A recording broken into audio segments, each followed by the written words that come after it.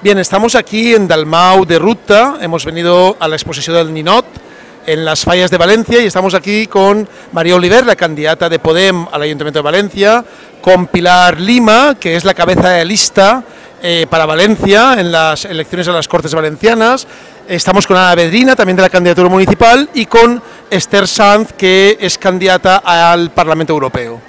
Bueno, ens hem trobat així en un conegut nostre, que el teniu ahí, que d'alguna manera crítica pues, es posa dins de lo que són les falles. Sobretot ara que venen eleccions, jo crec que és un molt bon moment per a anar a veure falles i veure un poc quina és la sensació que té el món faller de com hem estat els polítics en la nostra tasca.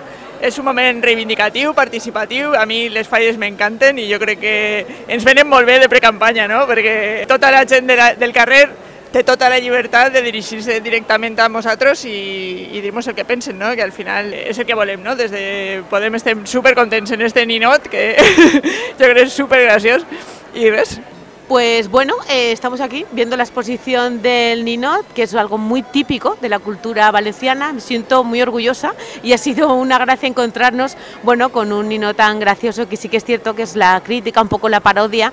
También destacar la accesibilidad.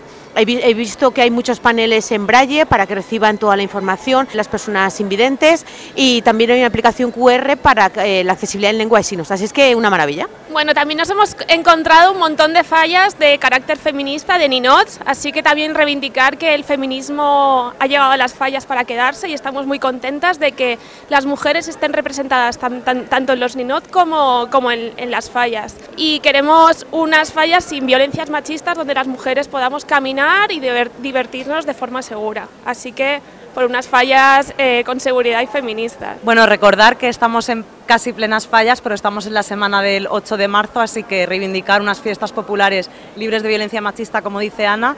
Recordemos que solo sí es sí en estas fallas y que el pueblo salga a la calle a disfrutar de estas fiestas. Sí se puede. Sí se puede.